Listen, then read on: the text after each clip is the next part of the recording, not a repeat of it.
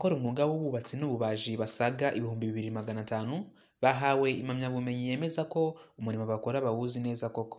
Ni impamyabumenyi itangwa na sendika y'abubatsi n'ababaji sitekoma aho izi mpamyabumenyi zihabwa abo bigiye ku murimo ariko bakaba nta cyangombwa cyerekana ko ibyo bakora babizi neza koko. Ni umuhango wabereye mu mujyi wa kigali witabiriwe na minisitiri w'abakozi ba leta n'umurimo dr. Jeannette bayisenge. Ndetse n'abandi bafatanyabikorwa batandukanye. Twisungane twisungane. Igitekerezo twagize nka sendika ikora ubuvugizi ikora ivugira abakozi kugira batere imbere ni igitekerezo twagize kuva muri bibiri na cumi na gatanu.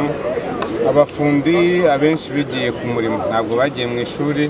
Mu gusaba akazi usanga bagendana ibikoresho byabo. Rimwe abantu ntibizere imirimo bakora.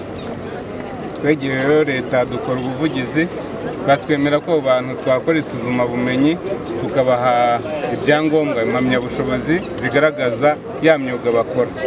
Ibyo bikadufasha kunegosiya n'abakoresha kugira ngo turebe ko habaho amasezerano y'umurimo yanditse kuba bahemberwa kuri konte kuba bajya mu bwiteganyirize ba bantu bagaragaza ibintu bakora. Kuko mbere twajyaga kuvugira abakozi ugasanga abakoresha batubwira uriya muntu ntabwo ari umufundi ntabwo abizi kandi wowe umuzi ko amaze afite egisperiyanse y'imyaka makumyabiri yarubatse amazu menshi mubona. Ubwo rero leta dufatanya kugira ngo ya myuga tuyihe agaciro. Najyaga gushaka akazi rero njye nkagenda nitwaje ruro murabibona rimwe dusingisha amarangi aho ngeze bakanyima akazi kubera ko nta cyagaragazaga yuko uwo murimo nkuzi ntabwo nacitse intege naje kumenya sendika yitwa sitekoma ndayigana naje kubasobanuza bansobanurira ibyo bakora bambwira yuko batanga amahugurwa abanyamuryango babo ndetse bakabakorera n'ubuvugizi. Nanjye rero naje kuba umwe mu banyamuryango bayo. Nyuma yaho naje kugirirwa amahirwe nkora ikizamini kijyanye no gusiga amarangi naje rero kubona impamyabushobozi mu mwaka w'ibihumbi bibiri na cumi na gatandatu. Nyakubahwa minisitiri rero aho mariye kubona iyo mpamyabushobozi. Ubu nsigaye njya kwaka akazi bakakama ndetse nkajya no mu makampani akomeye. Ni ukuvuga ngo umushahara nahembwaga mbere y'uko mbona ya mpamyabushobozi. Ubu ntabwo ari wo mpembwa iyo mpamyabushobozi rero naje no yaje kumfasha ubu nkaba nariguriyemo nk'ikibanza cya miliyoni eshatu ku giti cyanjye ntawumfashije. Nyakubahwa minisitiri yibukije abana bafundi ko impamyabumenyi bahawe zitazabafasha gusa mu gushaka akazi ahubwo zizabafasha no mu guhanga imirimo muri bagenzi babo. Turebye nka gahunda ya guverinoma y'imyaka irindwi turimo gusoza. Igaragaza ko icyiciro cy'ubwubatsi ari kimwe mu byiciro by'imirimo byagaragaje ko bifite amahirwe yo kuzamura ubukungu bw'igihugu no guhanga imirimo. Igihugu cyacu rero cyashyizeho politike n'ingamba zitandukanye zigamije guhanga umurimo ariko nk'uko byakomeje kuvugwa n'abambanjirije ntabwo ari umurimo uwo ari wo wose ni umurimo unoze kandi umurimo utanga umusaruro. Muri izi ngamba rero harimo politike yo kwigira ku murimo igamije gusubiza ibibazo bigaragara ku isoko ry'umurimo birimo kuba hari icyuho hagati y'ubumenyi bukenewe ku isoko ry'umurimo ariko n'ubumenyi dusanga ku isoko ry'umurimo. Zimwe rero mu ngamba ziteganywa muri iyi politike yo kwigira ku murimo harimo iyi gahunda yo gufasha abantu bigiye ku murimo batanyuze mu ishuri kubona impamyabushobozi ihamya ubushobozi bafite.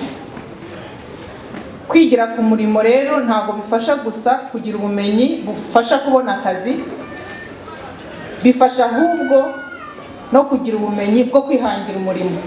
Bityo mukaba namwe abatanga akazi. Kandi ndizera ko nubwo twumvisha ubuhamya bwa mugenzi wanyu umwe tubahaye mikoro benshi batwereka ko abamaze kubona izi mpamyabushobozi mu gihe gitandukanye zabafashije kwiteza imbere mu kazi ariko zikabafasha no guhanga imirimo ku bandi bagenzi babo. Yasoje asaba ko barangwa n'ikinyabupfura ndetse n'indangagaciro kandi bagashyiramo umwete mu murimo wabo. Aho abanyamahanga baturushaga tugiye gukuba natwe ahubwo tugakuba inshuro nyinshi. Abanyarwanda ni abanyamurava. Sinzi impamvu abandi baza bakaturusha. Yego. Ni ukugira ngo rero cya disipurine indangagaciro buriya indangagaciro zabuze uba urimo no kwiyambura ubunyarwanda. Nuko rero murangwe n'indangagaciro ku murimo ubundi mutere imbere kandi turahari twese kugira ngo tubashyigikire.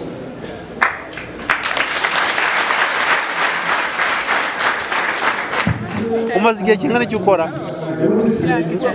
Baguhaye igipapuro. Niki cyerekana ko ushoboye usibye igipapuro baguhaye gusa? Urugero? Nk'urugero.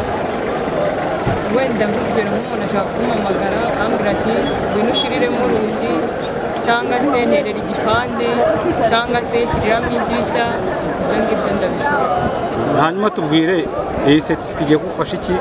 N'ibihe bibazo uhuraga na byo mbere yuko ubona iyi seritifika iyi seritifika igiye kudufasha iyo udafite seritifika hari aho ushobora kujya bakakubaza ati se urabizi?